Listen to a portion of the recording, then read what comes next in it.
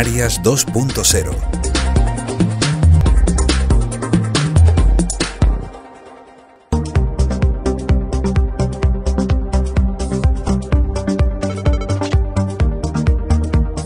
Lucha contra las plantas exóticas invasoras.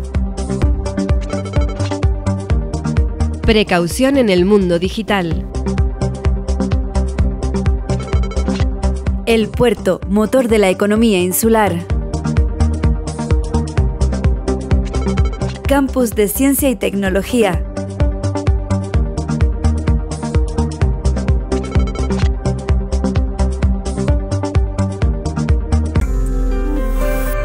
¿Estás pensando en cómo dar visibilidad a ese evento que tienes próximamente? Producciones Ibora cuenta con profesionales que te garantizan el resultado. El Cabildo de Tenerife trabaja en la erradicación de plantas invasoras.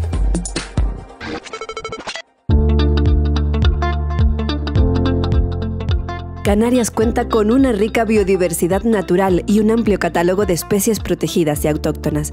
Cualquier cambio en los ecosistemas de las islas puede alterar su frágil desarrollo. La introducción de especies invasoras supone una seria amenaza que la globalización ha potenciado. El creciente intercambio comercial entre diferentes regiones del planeta facilita que se traspasen las barreras que limitan la dispersión natural de las especies, incrementando así el número de invasiones biológicas. En el caso de las especies vegetales, la entrada de estas plantas foráneas se suele producir a través de su introducción para el uso ornamental en la jardinería. Y si pensamos en una especie invasora que ha proliferado en todas las islas y crece ya de forma silvestre y sin control a pesar de todos los esfuerzos para erradicarla, esa es el rabo de gato. Es un claro ejemplo del peligro que supone para la biodiversidad canaria la introducción de una planta exótica invasora. Su eliminación del entorno natural supone un importante reto. Pero aunque es la más conocida, el rabo de gato no es la única especie exótica invasora que podemos encontrar en las islas. Estamos ante una especie que se llama eh, cactus cilíndrico, está dentro del grupo de las autocilindropuntias, cilindropuntias y demás. Es originario de, de, Perú y en Perú puede llegar a vivir hasta una cota de unos 3.000 metros de altitud. Aquí en Canarias, pues el rango de ecosistema que puede afectar va prácticamente a todo, desde la costa hasta la cumbre, pero principalmente es en la zona eh, bajas hasta los 300 metros de altitud que afecta a lo que es el cinturón costero y también el cardonal tabaibal. En este lugar nos encontramos en un cardonal tabaibal que está en franca recuperación después de haber superado pues, factores de presiones y amenazas y el, origen de cómo llega esta planta aquí principalmente es a través de los restos de jardinería que no tienen una buena gestión. Es una planta que cuando llega al ecosistema tiene una capacidad de adaptación muy grande, tiene un desarrollo bastante importante y es una planta que es bastante agresiva, tiene unas púas muy grandes y no da ningún tipo de fruto comestible, con lo cual es una planta que la tenemos instaurada en muchos ecosistemas de Canarias y la intención es irla eh, extrayendo poco a poco, que es una planta muy agresiva, es muy pinchuda, tiene espinas de hasta 5 centímetros de longitud y que por la general cuando eh, algún operario se pica se suelen infestar, con lo cual es una planta que hay que tener mucho cuidado con ella. Aquí tenemos eh, una especie que es muy problemática, está, por ahora está en la isla de Tenerife, es Pluquea ovalis. Esta especie es de la familia de las asteráceas, produce una gran cantidad de semillas y es lo que hace lo que le da esa gran capacidad de invasión que, tiene. Aquí, por ejemplo, si vemos la especie, como la pluquea ah, está desplazando a una especie como es el salado, que es una especie canaria, está en una zona de fondo de barranco, aprovechando la humedad de la que dispone y va desplazando la flora. De aquí en esta zona no solo tendríamos la pluquea, sino hay otras especies como la cortaderia, que se ha convertido en un gran problema en las islas también, el junco, eh, incluso tenemos eh, pues alguna especie de palmera como la Washingtonia. Para controlar la afección de especies foráneas en el archipiélago, el Gobierno de Canarias cuenta con Redexos, la red de alerta temprana de Canarias para la detección e intervención de especies exóticas invasoras. Su finalidad es localizar, identificar, analizar, controlar o erradicar los nuevos focos o poblaciones de especies exóticas invasoras. Redexo es la red de intervención de alerta temprana eh, con especies exóticas invasoras aquí en Canarias. Actualmente nosotros eh, estamos actuando con especies de, tanto de flora como de fauna. En este caso estamos aquí en la zona de las maretas haciendo un seguimiento en una actuación donde nos ha llegado un reporte de una especie exótica invasora como la Pluchea ovalis y en este caso hemos venido a identificar esta especie para posteriormente ver qué actuación llevamos con ella, si la eliminamos según los protocolos que están diseñados para esta misma especie. La vecina tenía razón, aquí tenemos un ejemplar de pluquea, está bastante ensemillada, así que nada, vamos a tener que... Además la, ubicación fue exacta también, o sea que... y se ve que se está dispersando un montón por aquí. Sí, hay bastante dispersión. Procedemos a eliminarle las semillas y embolsarlas y ya después las eliminamos de raíz. A través de, la red de alerta temprana eh, utilizamos una aplicación para, sobre todo para divulgación e identificación de estas especies. En este caso el usuario debería descargarse la aplicación a través de Android o iOS y una vez descargada debería hacer un avistamiento de esta especie. Ahí hay un catálogo de especies invasoras donde tú la, la identificas, la localizas, le sacas una foto, justo en la zona donde la has visto, si es una finca, un espacio natural y demás, pues ese reporte nos llega a nosotros y una vez nosotros lo avistamos, lo verificamos y confirmamos que esa especie es invasora y actuamos sobre ella. Hay muchas especies que la verdad que eh, el protocolo de actuación con ellas es muy delicado, entonces hemos de tener en cuenta sobre todo eh, los protocolos que, que debemos utilizar con cada una. Sobre todo, pues si te hablo de una especie, en este caso la Pluchea ovalis, es muy mala de trabajar por el sentido de que se dispersa a través de la semilla, tiene un, la semilla es muy fina, tiene un pequeño pelillo, entonces a la hora de trabajar con ella eh, es delicado porque puedes llegar a mover esa semilla de un lado para otro. Para evitar la proliferación de estas especies en las islas, es fundamental hacer un correcto tratamiento de los residuos vegetales y de jardinería. Es importante que la gestión de los residuos de la jardinería, no solamente de las plantas cactáceas que se multiplican con mucha facilidad de manera vegetativa a través de trozos de restos de poda, sino cualquier otro tipo de planta que tengamos, hacer una buena gestión, no tirarlas en el medio natural, sino aquellas que por algún motivo estén dentro del catálogo de especies exóticas invasoras, tienen que tener un destino que no es el propio campo tiene que ser eh, gestionada de manera apartada y llevarla a los lugares adecuados para ella. Siempre que, hagamos una poda, algún tratamiento en nuestro jardín, en nuestra huerta, pues lo ideal es no dejar, sobre todo tratar de manera adecuada los restos de poda, no, eh, depositarlos en el medio, en un barranco, aunque veamos que es una zona que en principio no tenga riesgo, luego realmente eh, las especies luego se pueden dispersar, entonces lo mejor sería eh, hacer un buen uso de esos restos de poda, llevarlos eh, por ejemplo a un punto limpio o preparar los restos bien embolsados, no verterlos al medio directamente. Es necesaria la implicación de toda la sociedad en la gestión de este problema ambiental, delicado y de difícil solución, pero debemos tener en cuenta que nunca se debe actuar por cuenta propia en labores de control y erradicación de flora exótica. Una actuación incorrecta podría ser más perjudicial que beneficiosa. Existen proyectos de voluntariado ambiental para que las personas interesadas puedan integrarse en ellos y participar.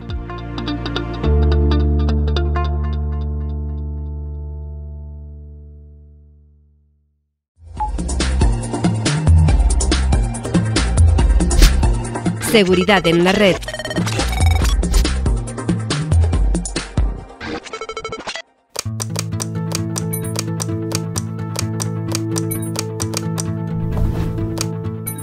Día se están llevando a cabo más ciberataques basados en la ingeniería social, es decir, en la manipulación. Los objetivos son tanto usuarios particulares como empresas a través de los empleados. Imagina que recibes una llamada o que te envían un mensaje. La persona al otro lado te pide que hagas algo, por ejemplo, que realices una transferencia bancaria. A ti la situación te puede parecer más o menos extraña, pero el caso es que esa persona te está dando datos muy reales. Menciona tu banco real, te da nombres de personas que conoces, información aparentemente veraz y este es uno de los peligros cuando hablamos de sobreexposición en redes sociales. Muchas veces no somos conscientes de toda la información que publicamos en Internet y en este tipo de plataformas. Seguro que ya has oído alguna vez eso de que una vez que se publica algo en Internet, esa información deja de ser tuya.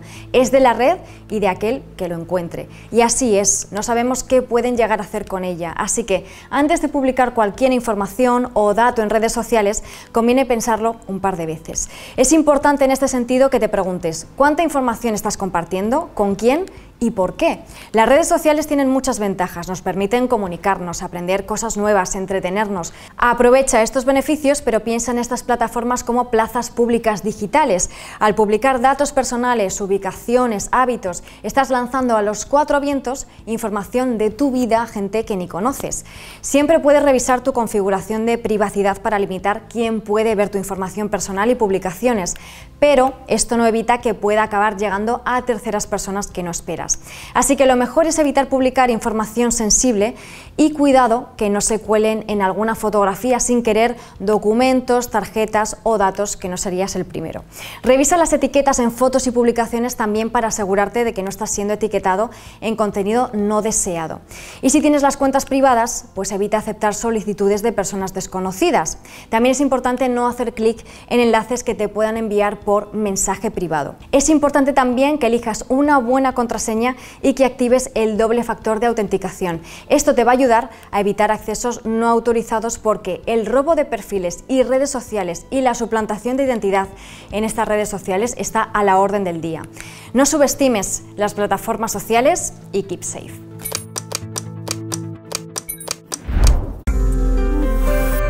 ¿Estás pensando en cómo dar visibilidad a ese evento que tienes próximamente? Producciones Ibora cuenta con profesionales que te garantizan el resultado.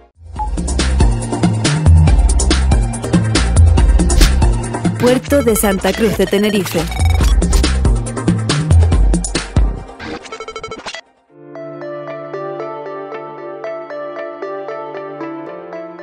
Actualmente el puerto de Santa Cruz de Tenerife es punto de escala de múltiples líneas marítimas que enlazan la instalación provincial con los principales puertos de Europa, África y América.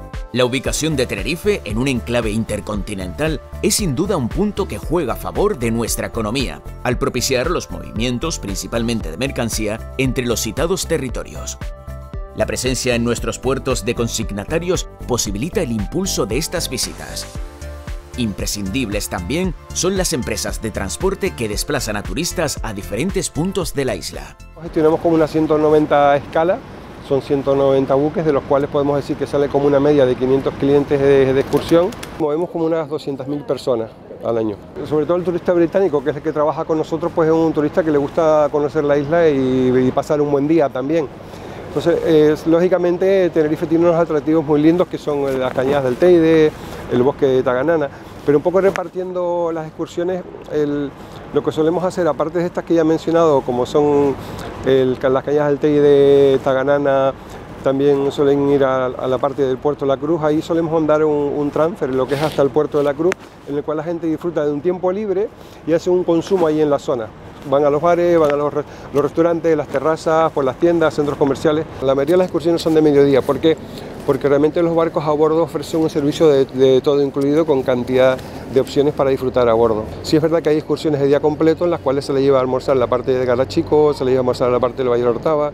Hay una excursión muy bonita que visitan una bodega en la cual le saluda al dueño de la bodega, se le hace una demostración ahí de cómo se elabora el mojo, nuestras riquísimas papas arrugadas y posteriormente pasan a comer una diversidad de platos típicos aquí de Canarias. En todos los puertos existen empresas encargadas de gestionar la carga y descarga de la mercancía que transportan los barcos. Supervisan estas operaciones y contratan a los estibadores, que son operarios que desarrollan estas cargas, descargas y clasificación o almacenaje de diferentes contenedores. Hemos hablado con el señor José Ignacio Uriarte, director de Terminal de Contenedores de Tenerife, quien nos explica la labor de su empresa. Somos una empresa de una terminal eh, para atender las cargas y descargas de los buques portacontenedores y de carga rodada. Nos anticipan con un poquito de antelación que vamos a tener un barco para hacer la operativa o la operación que sea, puede ser eh, descarga y carga, o solo descarga, o, solo carga, cualquiera de las operaciones. Entonces nos pasan una lista de, de la operativa que van a hacer, pues van a descargar 800 unidades. Y entonces nosotros ya trabajamos con todo eso con la autoridad portuaria porque hay que informarle de la operativa.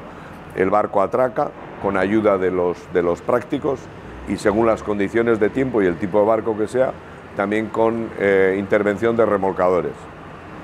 Y una vez que atraca y se amarra, que es una operación relativamente rápida, ya empezamos con el turno de trabajo dependiendo eh, de qué horario, porque eso, los turnos están muy ajustados por los estibadores.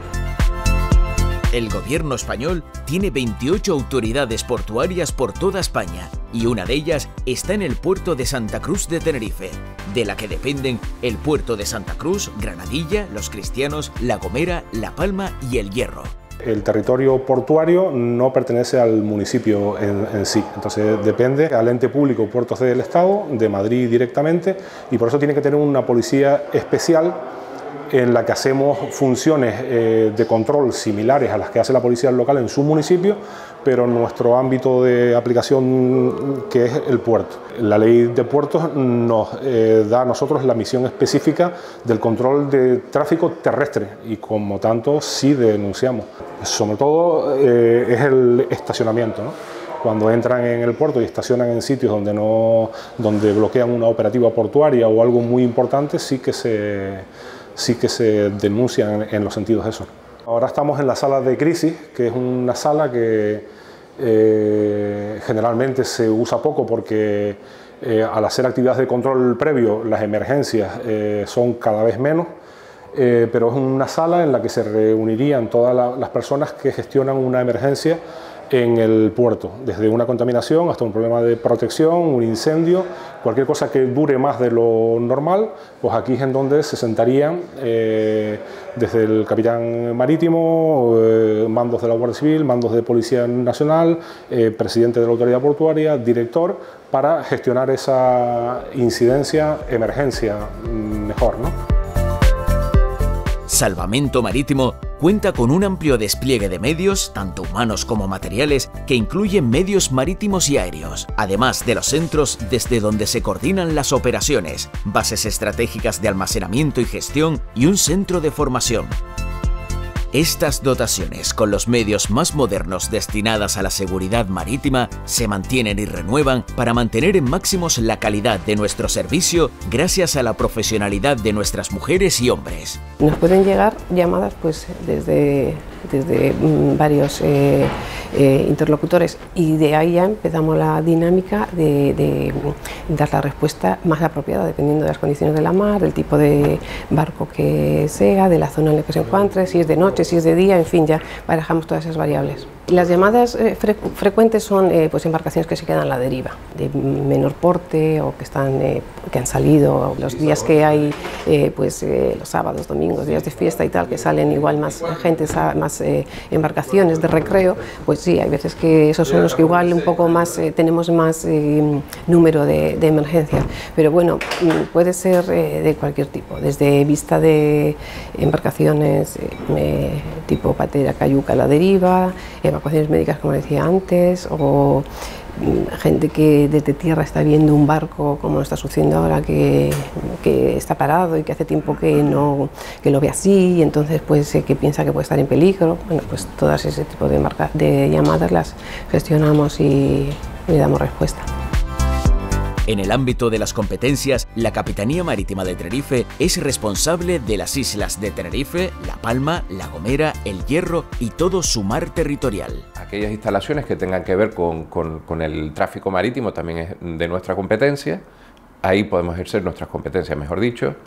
Y, la zona SAR, como te comentaba, que, es donde nosotros tenemos la responsabilidad de, salvar a las personas que estén o los buques, o prevenir la contaminación, o luchar contra la contaminación en su caso, eh, que, España tiene un millón y medio de kilómetros cuadrados, pero en Canarias un millón, que es como el doble de todo el territorio nacional.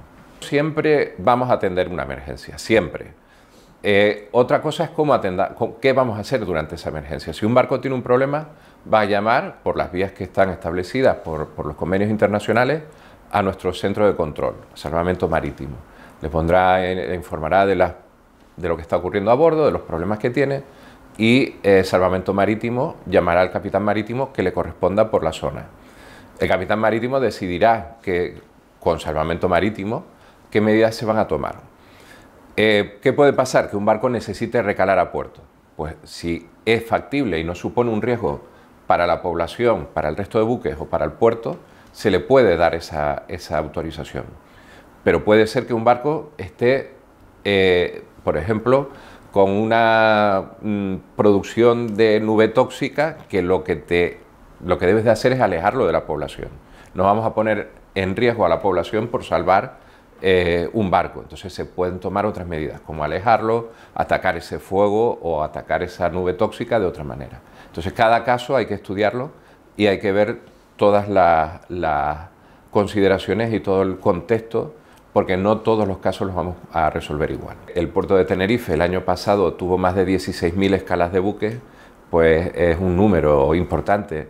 Que los puertos de Tenerife movieron más de 6 millones de personas, pues también ese es otro número importante, que se movieron, no sé el número ahora, creo que estaba en torno a los 7 u 8 millones de toneladas de mercancía.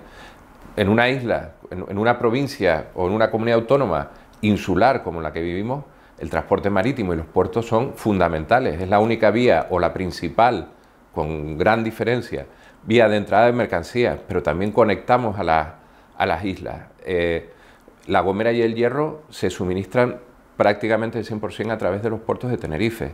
El transporte de pasajeros es, muy importante en la actividad turística que se desarrolla en las Islas del Hierro y, y la Gomera y en La Palma también tiene mucho que ver con, la actividad del transporte marítimo, pero también tenemos eh, todo lo que es la actividad recreativa comercial que se da en el sur, el avistamiento de cetáceos, las excursiones, el alquiler de, embarcaciones de recreo.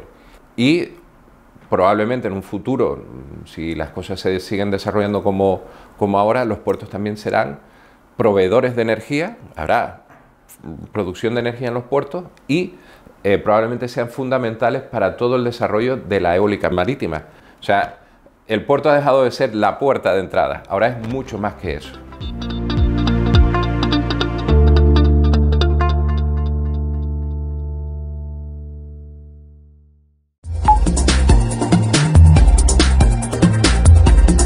Vocaciones científicas y tecnológicas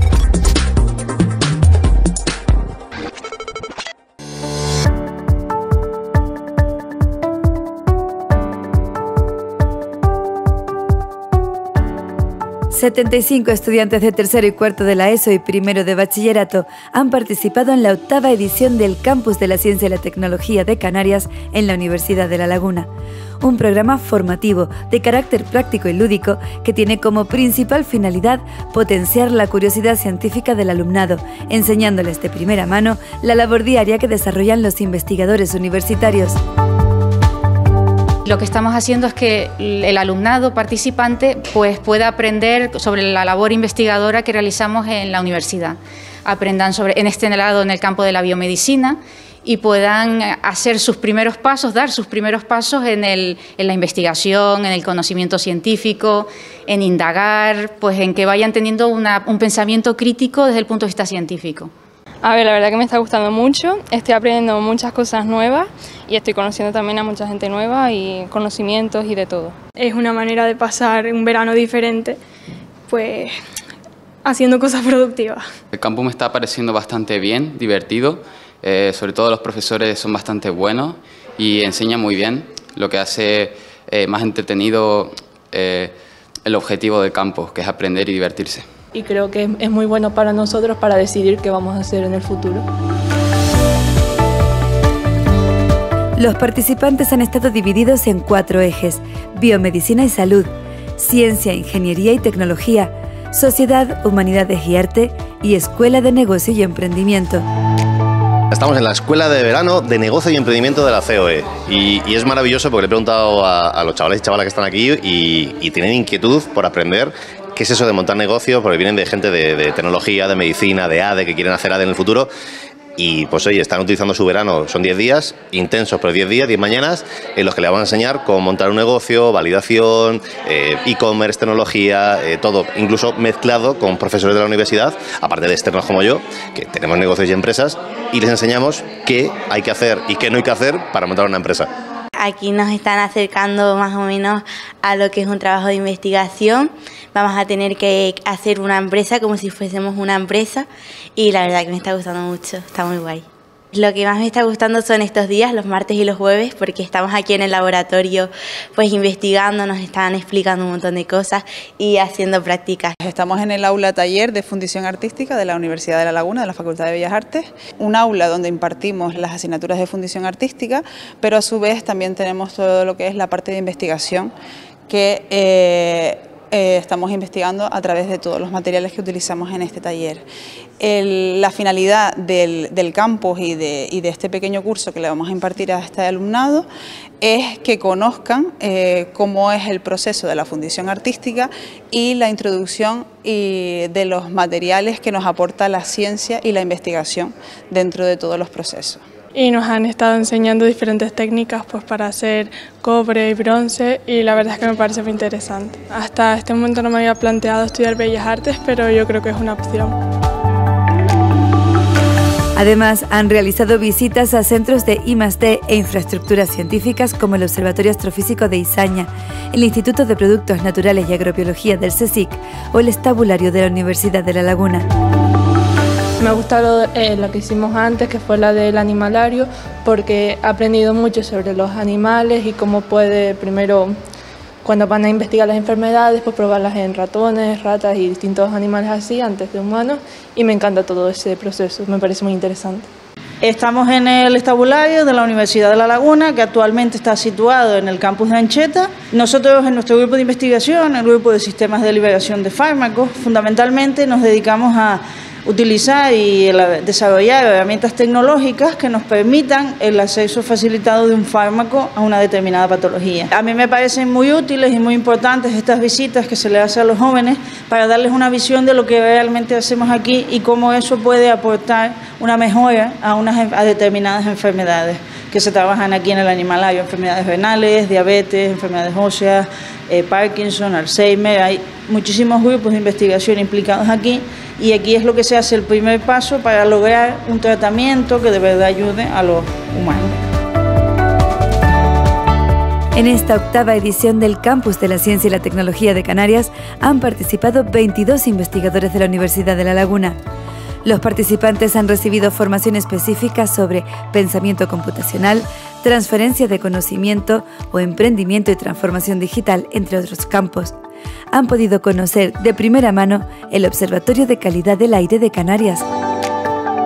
Básicamente les hemos contado un poco la importancia de estudiar el aire, sobre todo específicamente en Canarias, la repercusión que tiene en la sociedad y sin duda la importancia de la ciencia en todo, en todo lo que tenga que ver con la caracterización del aire, de los compuestos que evidentemente respiramos y que finalmente terminarán repercutiendo en nuestra salud.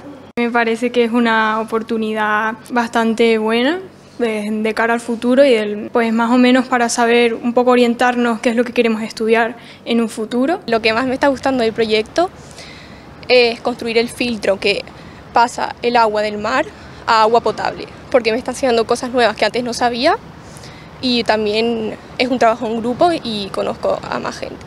Lo que estamos haciendo me está enfocando bastante a el trabajo que eh, haré en un futuro sé exactamente lo que haremos en una universidad, las instalaciones, lo que son, y yo sé que esto me va a enfocar mucho más en lo que quiero ser. Es un incentivo para su futuro, abre un horizonte nuevo de expectativas, de ilusiones, incluso vamos a ser románticos de sueños y es maravilloso para ellos. Yo por la, experiencia que tengo de este año y años previos, es maravilloso. Creo que para ellos es eh, excelente en su formación.